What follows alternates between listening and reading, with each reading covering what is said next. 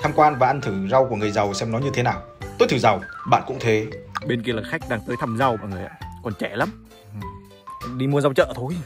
Lâu lâu ăn thử cảm giác của người giàu xem nó thế nào.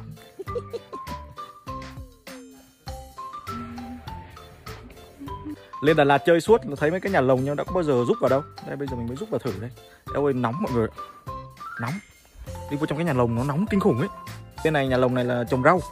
Tôi sẽ ăn thử cái rau organic này Xem thử nó khác gì dòng thường không mà sao nó nó đắt thế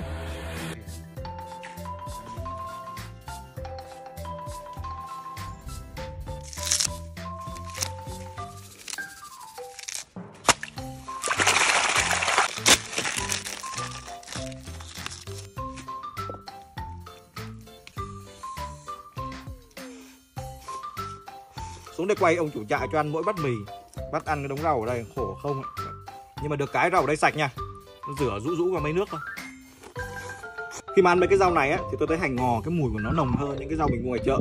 Tôi nghĩ là ở trong đây trồng không có thuốc bảo quản hay là thuốc kích thích gì hết nên là nó mọc ở môi trường tự nhiên. Lâu lâu sâu bệnh cái kiểu thì mấy ông xịt cho nó ít uh, cái tỏi với ớt người ta pha thì người ta xịt đấy ăn nó thơm ngon hơn ở ngoài chợ nhiều cái mô hình của bên này mọi người, thì là đang là cho thuê đất để trồng rau giống như mọi người chơi game nông trại vậy đó. Mọi người thuê một cái mảnh đất nơi này, mọi người chọn cái rau xong bắt đầu mọi người trồng. Thì bên này người ta sẽ trồng camera theo dõi, bla bla cái kiểu. Nếu như mọi người xem tôi lâu thì mọi người biết là tôi khá thích ăn rau. Đấy.